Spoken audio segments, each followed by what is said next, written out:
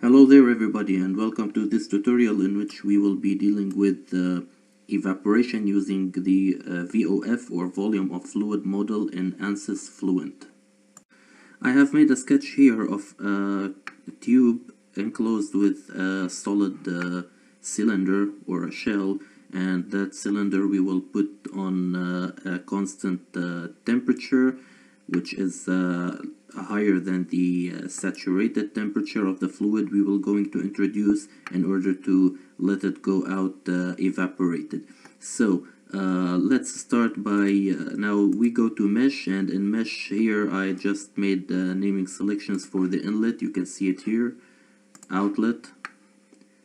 And I just called this the shell which is a solid. And the PCM is the phase change uh, material which is the liquid inside the tube and the tube is the solid here. So uh, PCM fluid which is the phase changing and uh, the shell solid and the tube solid. And we have the inlet and outlet and the mesh is of uh, I didn't do anything here uh, uh, significant in the mesh because it's not a meshing tutorial. It's just uh, to show you how to do the phase change. And here uh, this is 0.6 meters and uh, uh, there is the contacts. I will just change the names in order to see them in the mesh well. So contact region first is between the shell and the PCM so I will rename it and I will call it shell PCM okay uh, the second one is shell and tube so rename shell tube and the last one is uh, PCM tube so rename PCM tube and now we go to Fluent but before going to Fluent, make sure you go to Mesh and you click on Update. I have did this and now uh, we will wait for the uh, sketch to be imported. So now we will deal with uh, a pressure base because it's not a high velocity uh, uh, example and we will deal with uh, transient because the properties are changing with time and we will enter the uh, gravity which is minus 9.81 in the y direction. Now uh, let's go to setting up physics or we you can double click on models and see the options here. We will click on energy equation because we are dealing with the heat transfer and the change in temperature. And now let's go to the uh, multi-phase uh, or you can go from here to the multi-phase and we choose volume of fluid. Now let me stop here a little bit to explain to you the following options the first thing we have here is the number of uh, phases which are the Eulerian phases and it's by default set 2 but now I will change it to 3 because uh, we have three phases. The primary phase which is uh, the air and the secondary phases which are the steam and water. So there are three phases air water and the uh, steam or vapor. So uh, the software allows you to use up to 20 phases which I uh, almost think you will not use. So uh, let's go to down to the other option which is the coupled level set plus VOF now this option actually is an option for two-phase flow where no mass transfer is involved. So it's uh, uh, not uh, our case because we have mass uh, transfer in this example and uh, this option allows you to apply an interface tracking method according to the manual, to the Fluent manual, uh, and this uh, method couples the level set method with the VOF formulation. The VOF formulation is the, formulation you see here and which we will be talking about in a while. So it's the explicit or the implicit formulation and the level set method is actually based on a continuous function phi which I can show you here.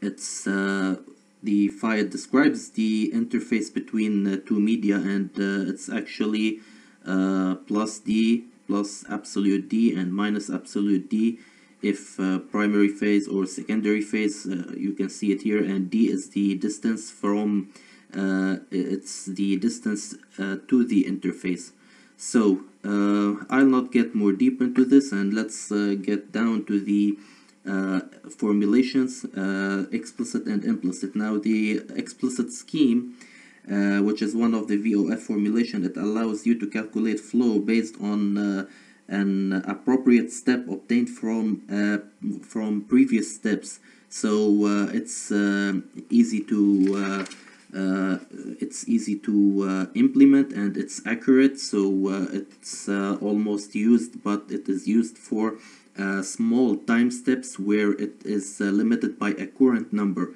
What is a Courant number? A Courant number is a measure of how much information it traverses a computational uh, grid cell uh, delta x in a given time step delta t. So now uh, when you uh, set the Courant number you actually set how much information you want to collect from the uh, grid cell from the uh, computational grid cell the flow is crossing in a certain uh, time step. So uh, like the more uh, the lower the value is the uh, more information you will collect.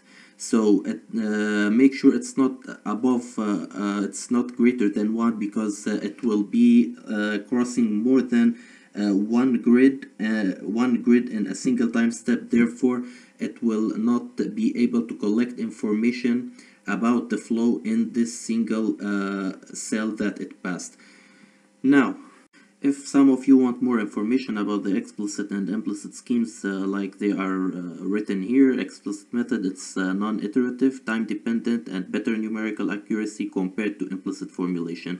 But as we said, it's limited to a Courant number.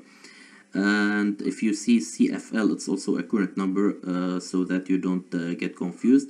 And the implicit method is iterative and it's used with any solver, steady or transient, and it's more powerful in steady state applications. And the implicit uh, method actually depends on the uh, current uh, or the present uh, uh, the present states in order to uh, calculate the solution you want. So it's actually it calculates a matrix which makes it a bit more harder than the uh, explicit method because uh, the explicit method just uses the uh, previous solution in order to uh, calculate the present one. So uh, let's not get uh, too theoretical now and let's continue to see what we have. In our case we will use the implicit and because and that's because we are using a large time step and we are not sticking to small time steps uh, which are uh,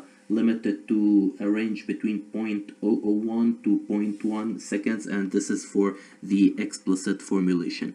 Now what's the volume fraction cutoff? The volume fraction cutoff it is some uh, value that you provide uh, here and uh, it is used as a lower cutoff for volume fraction Therefore, all uh, volume uh, fraction values which are uh, below uh, in your domain, which are below this number, are set to 0 and the upper cutoff is calculated as uh, 1 minus uh, this value so that all volume fraction values above the upper cutoff value are set to 1 and this is the default 1 e minus 6 I will not change it and uh, we go to the body force formulations. However if you like to know more about the Courant number the formula about it I can show you here in the uh, in my lecture. It's uh, C equal uh, U delta T over delta X uh, delta X being the uh, spacing of the grid in the numerical model.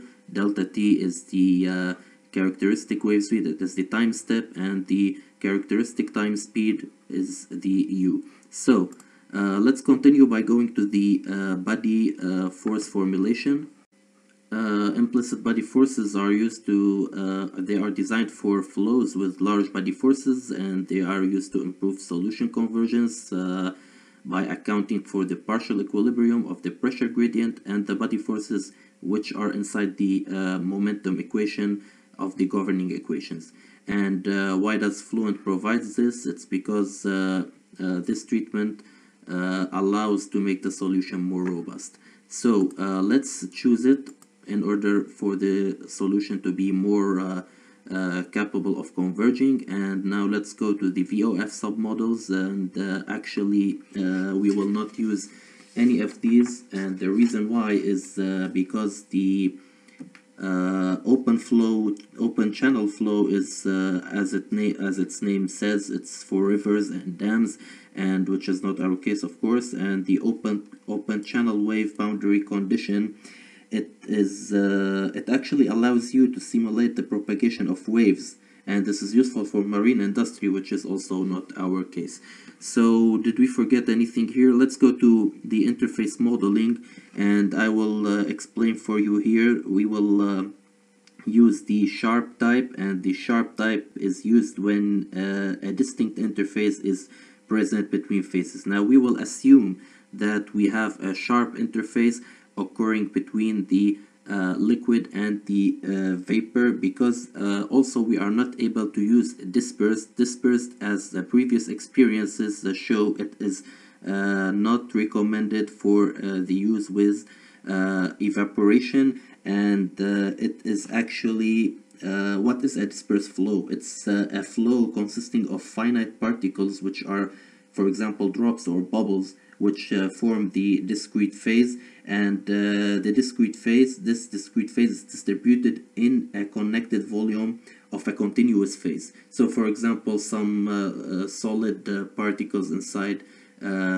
medium of air for example and they are actually used when phases are uh, uh, sorry uh, they are used when phases are interpenetrating. And interpenetrating is actually uh, you can say it's mixtures and here we don't have mixtures so it's uh, almost uh, the, another reason not to use it. Now the sharp dispersed uh, phase is uh, a hybrid approach for flows consisting of both the sharp phase and uh, dispersed phase sorry of both interfaces sharp and dispersed. And now okay I think this is enough so let's proceed so now let's move on and go to the viscous model and I will assume that we have a low uh, viscosity and therefore we will account for a high Reynolds number. And thus we will uh, we will choose one of the turbulence models and I will choose the uh, K epsilon which is a prominent model and it's used for a general uh, purpose CFD applications and it's also widely industrially uh, used and it accounts for the K and epsilon. The K which is the uh, turbulent kinetic energy and uh, epsilon is the dissipation kinetic energy. And if you want to go more into theory you can read about it in the manual. And uh, here I want to use the realizable model and the reason for uh, choosing realizable is uh, because uh, it satisfies certain mathematical constraints on the Reynolds stresses. And this uh, it is actually uh, powerful for, for flows where boundary layers may be under strong pressure gradients or where for example uh, rotation might occur. So I am accounting for such probabilities uh, so I will choose realizable and enhanced wall treatment and the near wall treatment and uh, actually I use this because it combines uh, to uh, the uh, two-layer model with enhanced wall functions. Now, uh, to explain this for people who are not involved in fluid mechanics, uh, the uh, two-layer model actually it formulates the law of the wall. The law of the wall is assuming that the properties near the wall, so that in this case near the tube, is global for the whole system and the uh, enhanced wall functions uh, allows the uh, fully turbulent flow to be easily modified and it extends uh, in order to take into account other effects such as the pressure gradient and uh, variable uh, properties. So no more options to use here. Let's click ok and proceed. And now let's go to materials and let's uh, insert the materials before we go to uh, name them in the uh, multi-phase in the multi-phase uh, model so fluent database and go down to uh, water vapor copy and then unclick and click on water liquid and click copy then close. So now let's go back to the uh, multi-phase and let's double click on phases and name our phases in order to see them uh, uh, as their names in the uh, boundary conditions instead of seeing phase 1, phase 2, phase 3 it is, it is more uh, clear.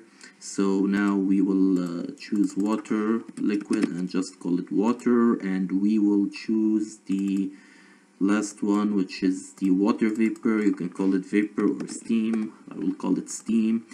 And here we go to interactions. And in interactions we should uh, increase the number of phase transfer mechanisms we only have one which is from water to steam.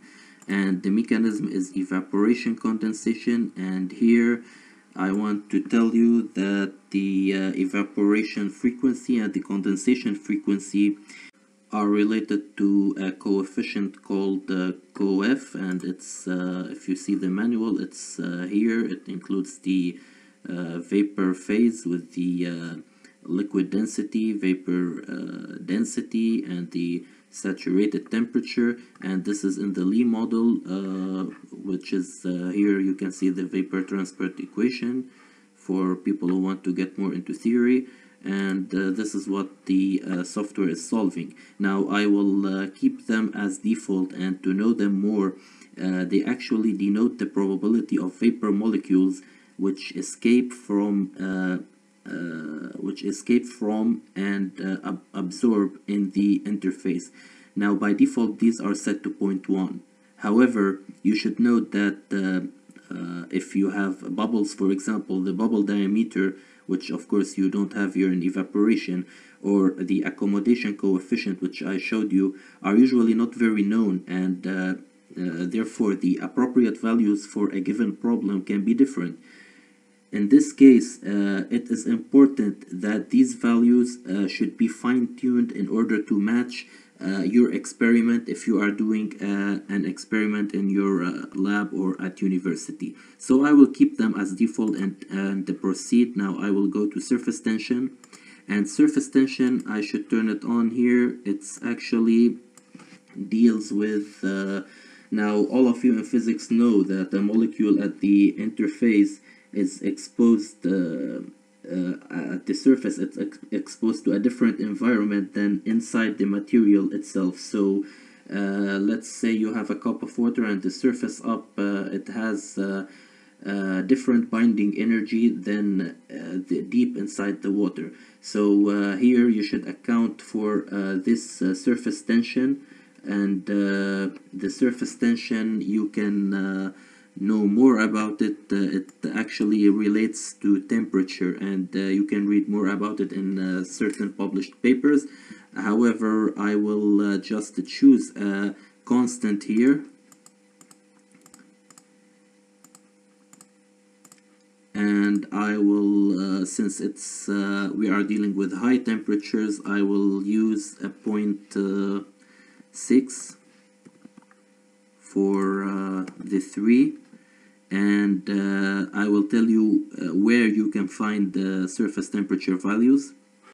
This is a PDF from the International Association of the for Properties of Water and Steam and it's uh, it contains a table which shows you the temperature and the surface uh, tension experimental in front of it. So uh, you can go since we are dealing with evaporation it's uh, for high temperatures I will choose something between uh, uh, 58 and uh, 37 and uh, this is in meter newton per uh, sorry millinewton per meter so I will choose it. You should divide it by thousand.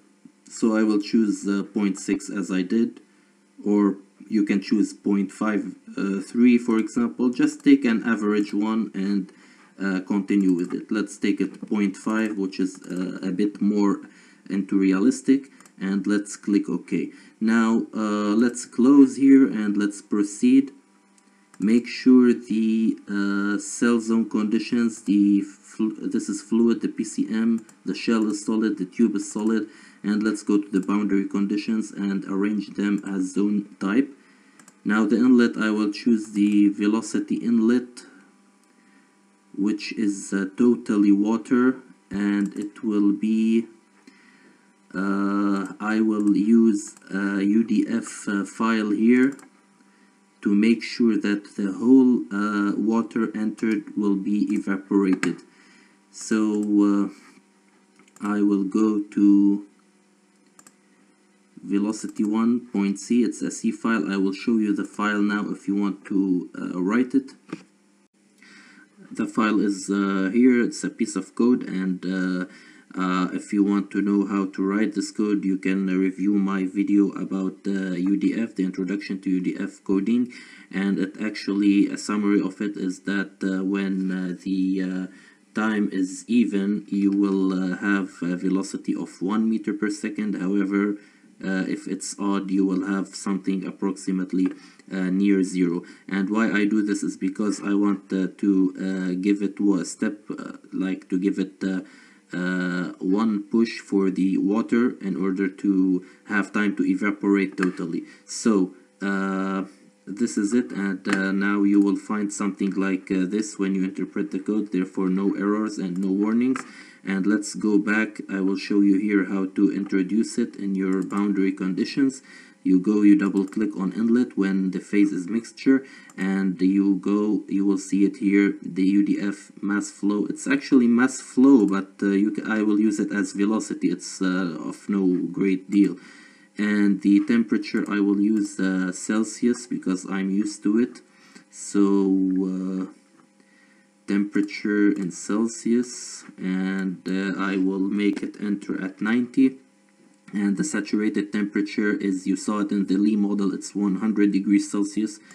So uh, and here I will the other thing is the outlet which is the pressure outlet. I will not uh, do anything with it and the wall shell I will double click and it's uh, a solid and I will uh, put the solid to be at a temperature of let's say you can put it as you like. I'll put it to 100 degrees okay? And uh, what you should make sure here is now this is the phase is mixture. And when you choose mixture when you want to edit the temperature and the velocity. However you should go to uh, water and click edit because the total inlet is the total uh, phase inlet is water. So the volume fraction should be 1 and you should press ok. You can also make sure that the steam is 0 if you want. However it will be 0 it will be set as 0 okay and now what we have to do is in the mesh I will create them from scratch because uh, I need to couple them correctly so that heat transfer will take place because if you didn't uh, put couple for the interfaces no heat transfer will take place. So I will delete and now I will uh, create them from scratch. So I go to manual create and I will go here. Let me see. I don't care about all this mess but I want to see the last uh, uh, terms. So here it's uh, source shell and the target is tube so it's between the shell and the tube so I write shell tube and I click on coupled wall and I create. The next thing is the source tube and the target is the fluid. Since the fluid is inside the tube and I put coupled wall and therefore tube PCM or tube fluid as you like and create now I close and proceed to go. This is enough here and let's go to the methods. Now according to the manual the solution method uh, should be of uh, should be one of the diffusive uh, interface capturing discretization schemes for volume fractions. Therefore it's uh, either uh, either quick or uh, HRIC as you can see here the modified HRIC for the volume fraction I will choose it. And uh, uh, however for the rest I will not choose quick as the manual says but I will choose the third order MUSCL and uh, this is uh, because of its potential to improve spatial accuracy for all mesh types. And therefore I have a random mesh so it's, uh, it's much pro uh, much proper to use it and uh, it can reduce the number of the number of diffusion most significantly for complex 3D flows. So uh, let me use it here also for the turbulence and the energy and I think this is enough. And I will use the PISO and this is because the uh, PISO scheme is required for all transient uh, calculations in general. So I will use it.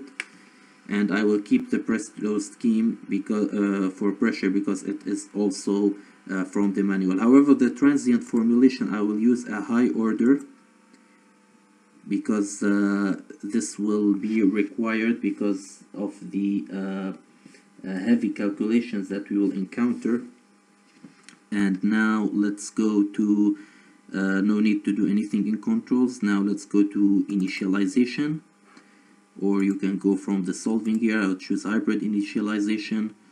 And I will initialize. I hope we didn't forget anything here actually we forget one little thing. We should do it. It's the operating conditions. You can find it in the cell zone conditions or in the boundary conditions and you should uh, click on the specified operating density and the operating density should be uh, uh, assigned to the lightest phase which is in this case air and it is assigned for the density of air in uh, the uh, uh, by default.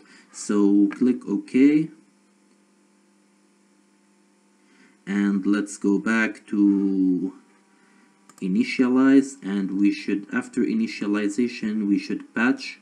And the patch is uh, necessary to insert initial uh, uh, conditions. So uh, we should uh, uh, we should assign that air is in the whole domain. We cannot the reason why I use air is because we cannot only use water and liquid. There should be something filled here before uh, uh, evaporation takes place or before the liquid enters because uh, no cell gradients can have uh, uh, empty volume or they cannot be in the state of a void. So here let's go to steam and assign it as zero and then water and assign it as zero initial conditions and let's close. Now let's go to autosave and increase one to save okay? Save every time step. And let's create a solution animation to see how our uh, work will go. I will create a contour of uh, phases and the phases will be I don't need the interface the inlet the outlet it's okay. I don't need these also. I want to see the interior PCM therefore the fluid and the internal the fluid how it's changing so I click on save and I go to let me use the uh, water. I should I want to track how the water is uh, uh, going. So I click save. And let me also create another contour for steam. And the challenge here is not to have uh, water liquid on the outlet. This is currently still under research, however we will try our best not to have water at the outlet. And let's save for uh, I think we need steam this time. Okay save. So close. This is for let's uh, make sure this is for water okay so this is it. Okay. Now let's go and let's set the uh, number of time steps to be I will set it 50 and let's check case. Okay it's recommended that we check our mesh. We go back to set setting up domains and we go we click on check. Everything's okay now uh, animation sequence okay. Uh, let's uh, ignore this and let's calculate. So guys just one uh, uh thing I change here is the velocity of the inlet which I uh, change it to 0.01 uh, for the even time and uh, for the odd time it's uh, uh, almost zero and I change it because it's uh, uh, to give uh, the water more time in order to evaporate. So let's see here the results. It's almost 100% it's almost 1 so it's near 1 I want to say let's say it's 99% now vapor but uh, let us uh, see the process how uh, things went. So let's see in the and I want to tell you that I stopped at the time step uh, 36 more. That's actually let's say 45 seconds or 44 seconds. So uh, let's go to the results and uh, let's view our uh, results as a contours and as a movie. So I will insert a volume for both one for liquid and uh, one for the uh, steam and I will show you how the phase change is taking place. So actually we can know here how much time steps there are so uh, let's wait for the sketch to get uh, okay here we go. And let's go to volume rendering. And the first one is the uh, water volume fraction. And let's make a resolution 40 in order to see it more dense. So let's apply and now let's go after it to another volume rendering which will just be for steam volume fraction. Okay let's go to volume rendering 2 and it's steam. Steam volume fraction it's here. Let's make it the same resolution 40 and let's change its uh, color in order to uh, see the difference between them. So here I want to make it instead of rainbow I'll make it gray style for the steam. And let's take a look now. Okay now uh, this will show us more. Let's go to the animation and uh, make a video for this in order to see it well so let's go back to the zero. Save movie.